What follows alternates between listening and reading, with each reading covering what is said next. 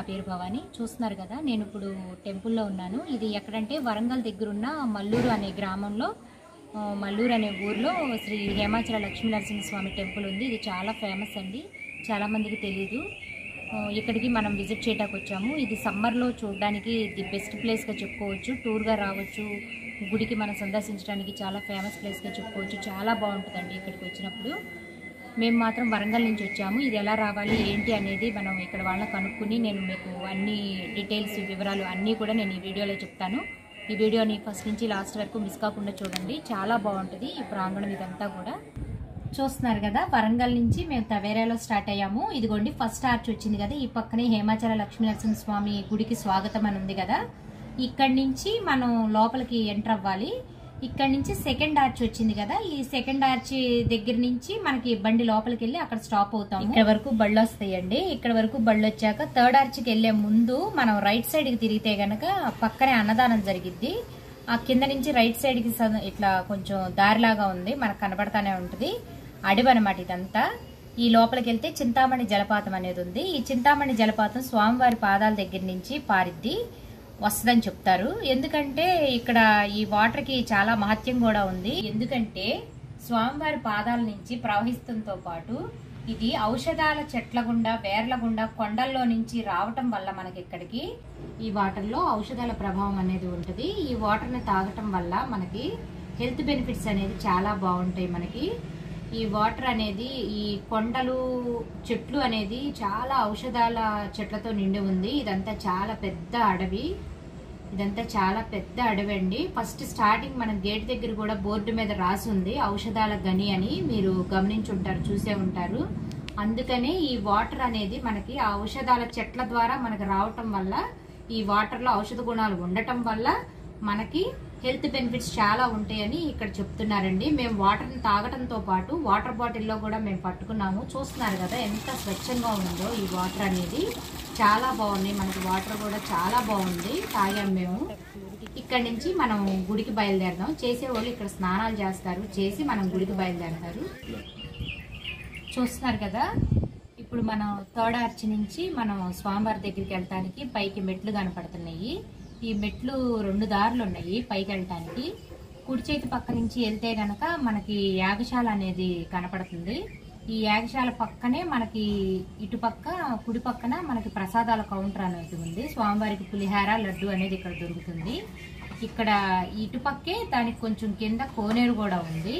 ఈ కుడి కుడి చేతి పక్క నుంచి వెళ్తే గనక మనకి ఈ కోనేరు ప్రసాదాల కౌంటరు ఈ యాగశాల అనేది మనకు కనపడుతుంది కొంచెం మనకి ఇటు సైడ్ లెఫ్ట్ సైడ్ కనుక చూసుకుంటే మనకి స్వామివారి కళ్యాణం చేయటానికి ఇటుపక్క ఒక గుడి రెండోది మనకు అక్కడ అభయ ఆంజనేయ స్వామి పంచముఖ ఆంజనేయ స్వామి గుడి ఇవన్నీ కనపడతాయి అనమాట ఈ లెఫ్ట్ సైడ్ నుంచి వెళ్ళేటప్పుడు మనకు పైకి ఏదైతే ప్లేస్ ఉందో ఇదంతా చూస్తున్నారు కదా చాలా అందంగా చాలా బాగుంటుంది.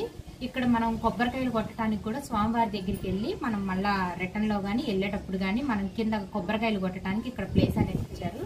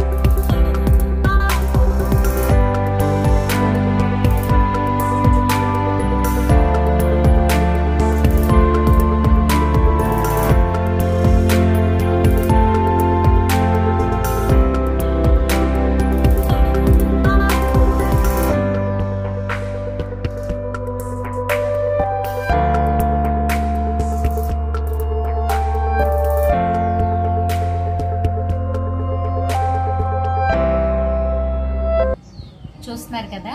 ఇప్పుడు కుడి చేతి పక్క నుంచి మనం మెట్లు ఎక్కుతున్నాము ఈ మెట్లు ఎక్కేటప్పుడు ఇటుపక్క అంతా కూడా పచ్చని వాతావరణం పచ్చని చెట్లు చల్లటి వాతావరణం చాలా బాగుంటది. ఇదిగోండి పైకి ఎక్కుతున్నాం మనం. ఇదిగోండి ఇలా మెట్లెక్కి రాగానే మనకి ఇక్కడ గుడి అదంతా చాలా అందంగా ఉంది. ఈ స్తంభాలు ఏదైతే ఉన్నాయో ఈ స్తంభాల మీద చూస్తున్నారు కదా ఒక్కొక్క అవతారం అనేది స్వామివారి అవతారాలు అనేది ఇక్కడ ప్రతిష్ఠించారు. వరాహస్వామి నరసింహస్వామితో పాటు వరాహస్వామి కూర్మ అవతారం ఇట్లా స్వామివారి మత్స్యావతారం ఇలా అనేక రకాలైనటువంటి దశావతారాలన్నీ కూడా మనకి స్తంభాల మీద కనపడుతున్నాయి. ఇక్కడ నుంచి చూస్తే చాలా అందంగా ఉంది. పైకి వచ్చేసాము. ఇక్కడికి వచ్చాక మనసు చాలా ప్రశాంతంగా ఉంది. చాలా బాగుంది. ఇప్పుడు మనం గుళ్ళోకి అయితే వచ్చేసాము.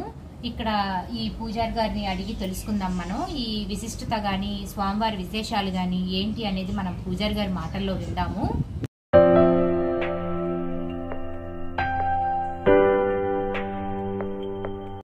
మల్లూరు గ్రామం మంగపేట మండలం ములుగు జిల్లా తెలంగాణ రాష్ట్రంలోని శ్రీ హేమాచల్ లక్ష్మీ నరసింహస్వామి స్వామివారి దేవస్థానం. ఇక్కడ స్వామివారు తొమ్మిది అడుగుల నాలుగు అంగుళాలుండి మానవ దేహం ఎలా ఉంటుందో స్వామివారి శరీరం కూడా మెత్తగా మృదువుగా సున్నితంగా ఉండడం ఇక్కడ స్వామివారి యొక్క విశేషం. ఇకపోతేది శాతవాహన శకం రెండవ శతాబ్దం కాలంలో దీపకర్ణి అనే మహారాజు గారికి స్వామివారి స్వప్నంలో కనిపించి నేను ఈ ప్రదేశంలో ఉన్నా నన్ను బహిర్గతం చేయండి అని చెప్పారు. ఎప్పుడైతే బహిర్గతం చేయమని చెప్పారో అప్పుడు వారి వారి సైన్యంతోనే వచ్చి ఈ కొండనంతా తొలుచుకుంటూ వచ్చారు. అలా తొలుచుకుంటూ వస్తున్న క్రమంలో స్వామివారి నాభిలో గుణపం పొడి తగిలింది. ఎప్పుడైతే స్వామివారి నాభిలో గుణపం పొడి తగిలిందో అప్పుడు స్వామివారు బాధకి అరిచారు. అరవగానే కొండంతా పగిలిపడిపోయి ఇక్కడ స్వామివారు స్వయంభుగా బహిర్గతం బహిర్గతం అవడం విశేషం. ఆ దెబ్బ తగిలిన ప్రదేశంలో నుంచి గుణపం తీయగా రక్తం ధారలా కారుతూ ఉంది. ఆ కారుతున్న సమయంలోనే దానికి అడ్డంగా పసుపు గంధం పెట్టారు. మనకి దెబ్బ తగలగానే మనం ఏం చేస్తాం? పసుపు పెడతాం కదా? అలాగే ఆ స్వామివారికి ఆ యొక్క నాభి ప్రదేశంలో పసుపు గంధం కలిపిన మిశ్రమాన్ని ఆ యొక్క నాభి ప్రదేశంలో అద్దారు. అయినప్పటికీ కూడా స్వామివారు ఉపశమనం పొందకపోగా బాధతో అరుస్తూనే ఉన్నారు విలపిస్తూనే ఉన్నారు ఆక్రోషిస్తూనే ఉన్నారు స్వామివారు. అప్పుడు రాజుగారు అడిగారు స్వామి మీ యొక్క బాధ నుంచి నేను విముక్తిని చేయాలంటే నేను ఏం చేయాలో పరిష్కార మార్గం తెలపమనగా ఆ స్వామివారు సెలవు ఇచ్చింది ఏంటంటే తీల తైలాభిషేకం చేయమని చెప్పారు. తిల తైలం అంటే నువ్వుల నూనెతో అభిషేకం చేయమని చెప్పగా వేద పండితుల చేత ఋషుల చేత ఇక్కడ ఆ స్వామివారికి నువ్వుల నూనెతోనే అభిషేకం చేయించి స్వామివారి యొక్క బాధ నుంచి ఉపశమనం కలుగజేశారు రాజుగారు. ఎప్పుడైతే ఆ యొక్క బాధ నుంచి స్వామివారు విముక్తుడయ్యారో అప్పుడు లోక కళ్యాణార్థం రెండు వరాలు ఇవ్వడం జరిగింది.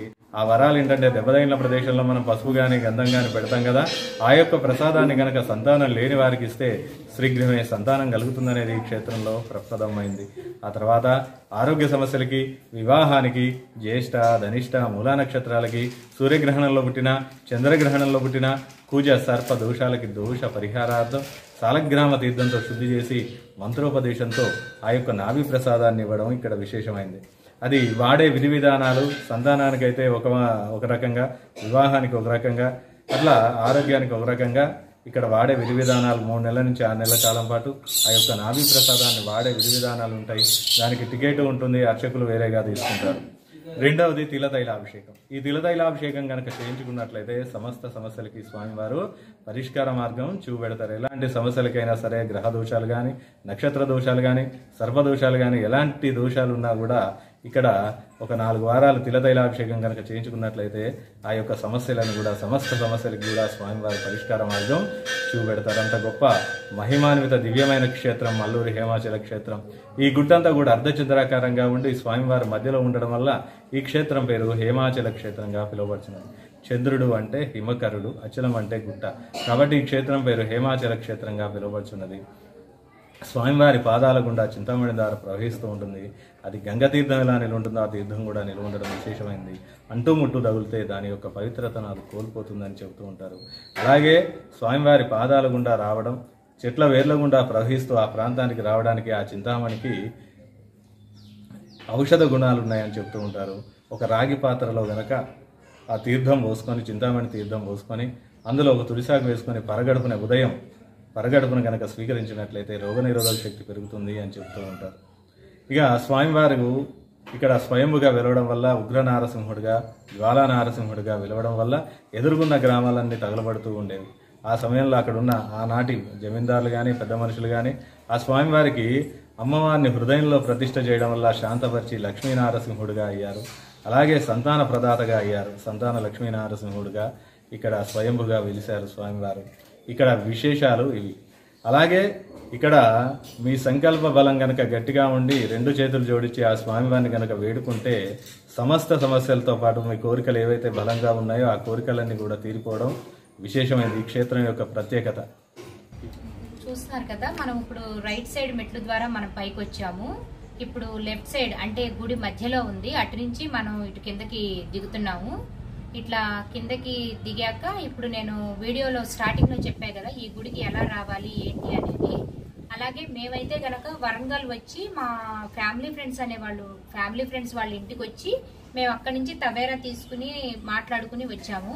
ఇక్కడ రావటానికి బస్సు సౌకర్యం అనేది మనకి తొందరగా లేదండి. ఎవరైనా రావాలనుకుంటే కార్లు తవేరాలు అలా బళ్ళు మాట్లాడుకుని డైరెక్ట్ వస్తారు. ఇప్పుడు మీకు గనక రావాలి అనుకుంటే విజయవాడ నుంచి వచ్చే వాళ్ళు అయితే గనక విజయవాడ నుంచి మనకి రాత్రి నైన్ థర్టీకి హన్మకొండకు బస్ అనేది ఉంటుంది. ఈ హన్మకొండ బస్సు ఏదైతే ఉందో అది ఎక్కి మనం మంగపేటకి టికెట్ తీసుకుని మల్లూరు ఊరు అనేది ముందే వస్తుంది. అంటే హన్మకొండ దాకా వెళ్ళక్కర్లేదు. మధ్యలోనే మనం మల్లూరు అనే ఊరు వస్తుంది. మంగపేటకి టికెట్ తీసుకుని మల్లూరు ఊర్లో దిగిపోతే సెంటర్లో దిగిపోతే అక్కడి నుంచి ఆటోలు అనేది ఉంటుంది. మనం తెల్లవారుజాము నాలుగు గంటలకి ఈ మల్లూరు ఊరు నాలుగు నాలుగున్నర మధ్యలో మనం దిగిపోతాము. ఈ నాలుగు నాలుగున్నర మధ్యలో దిగిపోతే అక్కడి నుంచి ఆటోలు అనేవి ఉంటాయి. ఆటోలు కట్టించుకుని మనం ఏదైతే స్వామివారి గుడి దగ్గరికి అని అడిగితే ఆర్చ్ వరకు తీసుకొస్తారు లోపల ఆర్చ్ వరకు దించేసి మళ్ళీ మనకి ఈ దర్శనాలు ఈ స్వామివారి జలపాతాలు ఈ ప్రకృతి అందాలు ఇవన్నీ చూసుకుని మన స్వామివారి దర్శనం చేసుకుని ఇవన్నీ చూసుకున్నాక మధ్యాహ్నం రెండు గంటలకి మళ్ళా మనకి ఇక్కడి నుంచి మల్లూరు దగ్గర నుంచి మనకి విజయవాడకి బస్సు అనేది ఉంటుందండి. మళ్ళా రిటర్న్ మనం రిటర్న్ అయిపోవచ్చు. ఇక్కడ అన్న- అన్నదానం అవన్నీ ఉన్నాయి. మనం భోజనాలు అవన్నీ చూసుకుని మళ్ళీ మధ్యాహ్నం మనం రెండు గంటలకి మన విజయవాడ బస్ అనేది స్టార్ట్ అవుతుంది. విజయవాడకి అక్కడ మల్లూరు వెళ్ళిపోతే ఆటో ఆయనకి మళ్ళీ చెప్పుకుంటే మనం ఆటో మళ్ళీ రిటర్న్ వస్తుంది మనకి. ఎన్ని గంటలకు కావాలో అన్ని గంటలకు రమ్మంటే అలా రాను పోను ఆటో మాట్లాడుకుంటే మనం అక్కడి నుంచి వచ్చి మళ్ళీ మనల్ని తీసుకెళ్ళి ఆ మల్లూరు ఊర్లో వదిలిపెడితే రెండు గంటలకి విజయవాడ బస్సు ఉంటుంది. అక్కడి నుంచి మనం మళ్ళీ విజయవాడ రావచ్చు. ఓకే ఫ్రెండ్స్ ఈ వీడియో కనుక మీకు నచ్చినట్లయితే లైక్ చేయండి షేర్ చేయండి సబ్స్క్రైబ్ చేసుకోండి. పక్కనే ఉన్న బెల్ ఐకాన్ను క్లిక్ చేయండి. మేము చేసే మరిన్ని వీడియోస్ మీ నోటిఫికేషన్స్ వస్తాయి. Thank you